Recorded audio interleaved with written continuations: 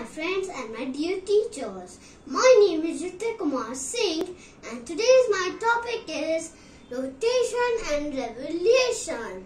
Rotation. The earth spins like a top of its own axis. This movement causes a part of faces sun and the other side remains the darkness. The side of the sun is day and the other side has night.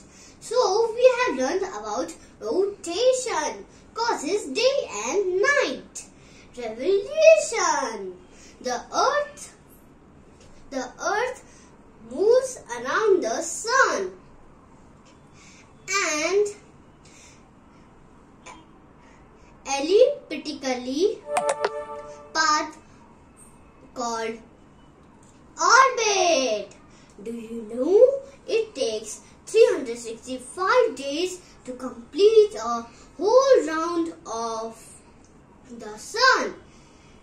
This movement of the earth is called revolution. The revolving